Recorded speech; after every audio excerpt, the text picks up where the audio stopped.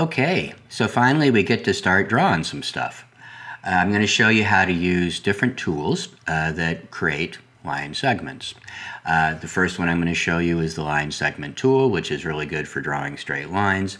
Then I'll show you how to use a couple of the shape tools.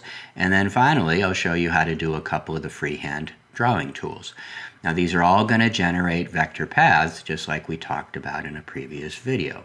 So I'm going to start off by going over here, uh, fourth tool down on the right. That is the line segment tool. And this is about as easy as it gets.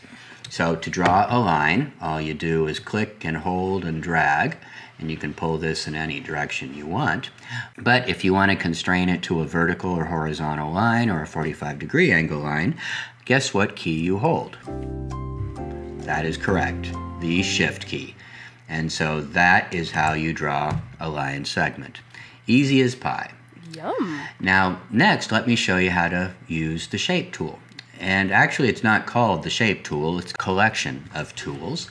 And so if I go down here on the left, fifth tool down, uh, most of you will initially see a rectangle there.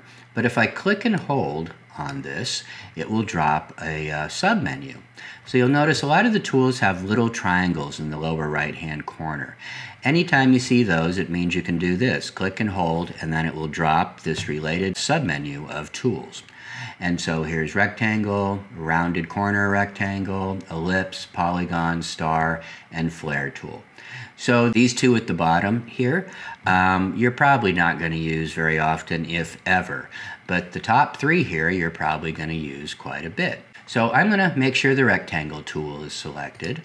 And then again, all I do is this. I just click and drag.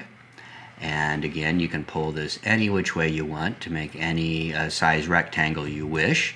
And if you want it to be a perfect square, boom, you got it, the shift key.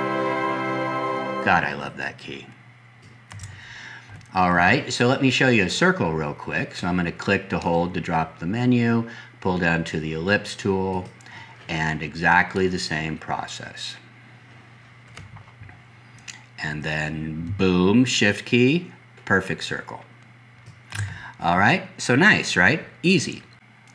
Now, as you look at these shapes, you will notice that two of them connect to themselves and the other one, the line segment, does not. These are called open and closed paths. And so let me get my white arrow tool here. So open path means it has two endpoints. In other words, it does not connect to itself. Closed path has no endpoints because the first and the last points connect to close the shape. This means it can also hold a fill color. We'll get to that soon. So open path, closed path. And that's just an important concept to remember as you move forward because those two different types of shapes will behave differently at certain times. Okay, so let's get to the freeform tools. There's two of them, and that is the pencil tool and the brush tool. So the pencil tool has been hidden down here. It's right underneath the shape tool. And if you click and hold on that, you will see the second choice down is the pencil tool. And you'll be surprised how often you actually use this. This is kind of the old bitmap style um, drawing tool, except instead of drawing with bitmap pixels, you are drawing with a vector path. And as you draw, you'll notice that Illustrator does a pretty nice job of smoothing out the curves. Now in terms of what you can modify with this, you can modify the stroke width, which I'm going to do right here in the Properties window. And you can modify things like end caps and things like that. So we'll cover that in more detail later. But it's really just a way to draw a free-form shape without having to uh, unleash the dreaded pen tool, which I will demonstrate in the next movie. Um, okay, so the brush tool works very much the same way that the pencil tool does. This is becoming very pretty, isn't it? Um, except that you have a little bit more control. So now with those shapes marked, let me just mark that last one I did. Come over here to the properties window. You'll see right here there is a brush menu. And so if I click and hold on that, it gives me access to different shapes of brushes. So for right now, I'm using just a circular brush. But if I go here, it emulates an angled brush or an angled pen.